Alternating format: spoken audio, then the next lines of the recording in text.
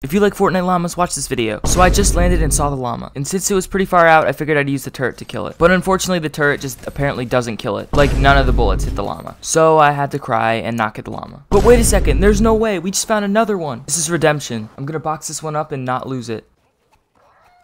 Yeah, come here, buddy. Now I can be happy. Wait, hold up just one minute. There is no way we just found another one. Okay, I'm just gonna build a mega base.